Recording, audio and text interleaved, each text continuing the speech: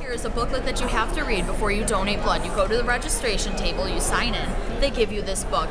It kind of it gives you specifications as to, you know, like if you've been to certain countries or you've done certain things, if you should donate blood or not. Um, it also specifies that you can't uh, donate blood within like six weeks of donating blood another time. Um, like I said, it, it gives specific countries and, and height, heights and weights and other specifications as well. With Lori, she's a supervisor for the Red Cross. Hey, Lori. Hi. Would you like to tell us a little bit about the, the Red Cross and the donation process?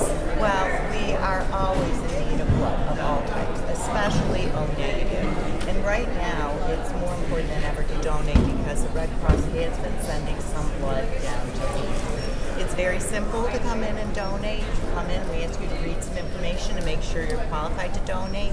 Bring some ID with you, and then we'll take you through a few simple steps, such as getting some personal information, doing a few quick physical checks like blood pressure and pulse.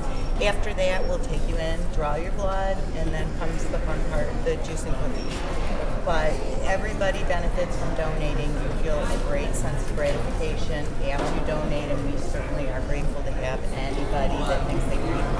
Oh, that's great. Now, a common misconception, or, or should I say, a hopeful misconception, is that people tend to think that donating blood hurts. Well, there might be a moment of quick discomfort, but it is not uncomfortable the whole time you are donating. You should be quite comfortable the actual process of giving blood generally takes anywhere between, say, 5 to 15 minutes, with probably 6 or 7 being the average time. Okay, well, thank you for clearing that up. So, students, just so you know, it doesn't hurt like everyone says it does. It is very important if they plan to donate to drink a lot of water the day of and the Okay. day before. Water, juice, anything not caffeinated.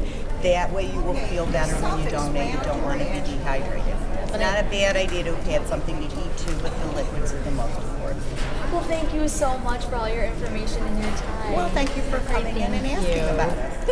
Okay, and it- I they have pictures.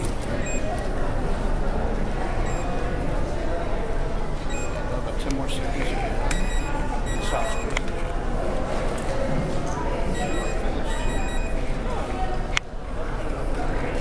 You're the student. Her name is Tesla.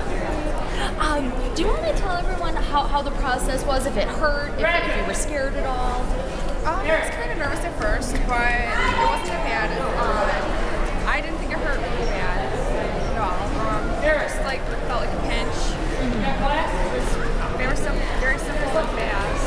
Uh, how long did it take? Was it you know too much of your time? No, it was maybe five, ten minutes. Great, great. Now this was friendly and everything. Oh, great. Well, thank you so much for your time.